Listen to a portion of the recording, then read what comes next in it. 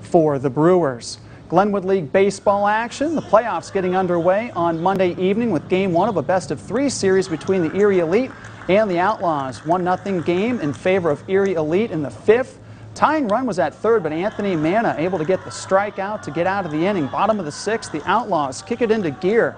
Game tied at one with the bases loaded, and Spencer T. Winkle able to drive in a run. Mitch Fiorelli scores. It's a 2 to 1 ball game a few batters later.